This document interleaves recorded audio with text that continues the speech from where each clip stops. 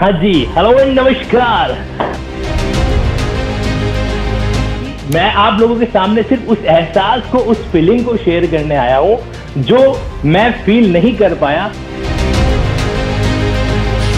सरकारी सेवा के अंदर आनंद प्राप्त किया तो सरकारी जमा ही बोला जाता है, आपको पता है। लेकिन जीवन का एक फंडा याद रखना। इतिहास गवाह है इस बात को लेकर कि जिस बंदे ने जितनी रिस्क लिया ना लाइफ में, उसने उतना ही रिटर्न पाया है। तो अब उस समय फोर्टी फाइव थाउज़ेंड कहती कि यार ये तो बहुत महँगा है। ऐसे तो वो कैसे इतिहास बदलेंगे? आप किस चीज़ पे विश्वास करते हो और किस चीज़ पे विश्वास नहीं करते हो, पूरा का पूरा फंडा जो है उस पर डिपेंड करता है। एक तरफ़ बिलीव काम करता है, एक तरफ़ मिसबिलीव काम करता है, और इसी के बीच में हमारी ज़िंदगी जो है ना, एक स्टूडेंट के नाते वर्कआउट करती है।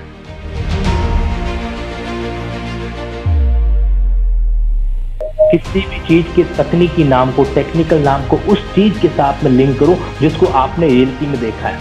ध्यान रखना डायरेक्टली इनडायरेक्टली हमारी जो कर्म भूमि है, वो क्या है? वो कोर्ट ऑफ़ जस्टिस ही हुआ करता है। अगर आप जनरल ब्रांच से आई का तैयारी कर रहे हो, गजब का कॉम्पिटिशन है। लेकिन लॉ के सेगमेंट में जाकर आप मेंस में ऑप्शनल पेपर चूज़ कर रहे हो किसको एल लॉ को तो मान के चलना, वहाँ पर आपके लिए एक अच्छा फ़ील्ड तैयार हो सकता है।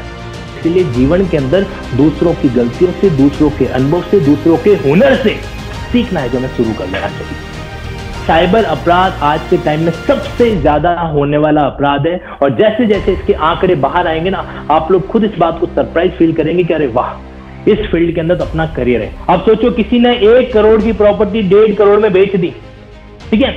और आपने क्या करा इस प्रॉपर्टी का रजिस्ट्रेशन वगैरह भी करा दिया अगर आधा परसेंट भी आपने रजिस्ट्री का इनकम सोर्स अपना अर्न कर दिया तो अच्छी खासी कमाई हो रही नुकसान क्या हो रहा पचास से पिछहत्तर हज़ार आपके एक दो दिन का। और वो क्यों? क्योंकि आपको लीगल नॉलेज है।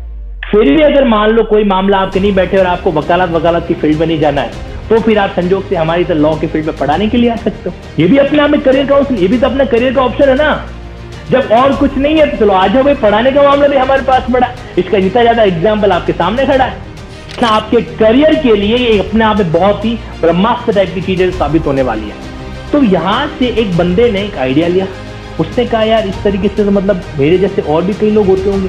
अब यहाँ से एक स्टार्टअप का आइडिया जन्म लेता है कि क्यों ना एक ऐसा ऐप डेवलप करें अपन। Profile I was really very I would say I was it was very an informative session और भले ही हम अनम्यूट करके आपको बार बार नहीं बोल रहे हो बट आपने इसी तरह दिखाया कि हम आपके साथ इक्वली इंटरेक्ट कर रहे हैं। So I was really happy for that also sir so thank you so much for your time that is what I wanted to share with you हम मतलब इतना टॉप में नहीं आते रैंक में पर आपकी बातों से सर आज कॉन्फिडेंस आया कि हम भी बहुत कुछ कर सकते हैं। भी जैसे हम एल के स्टूडेंट होते हैं वी आर वेरी कंफ्यूज कि हमें कैसे जाना है क्योंकि खूब सारे ऑप्शंस खुल जाते हैं। तो हमेशा हम R J S R J S इन्हीं चीज़ पे फोकस करते हैं। आपकी वजह से काफ़ी ज़्यादा ऑप्शंस मिले।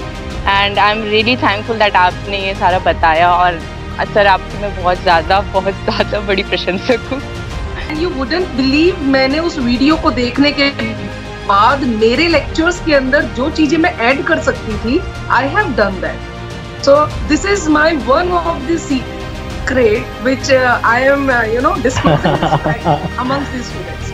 So thank you so much tansuk ji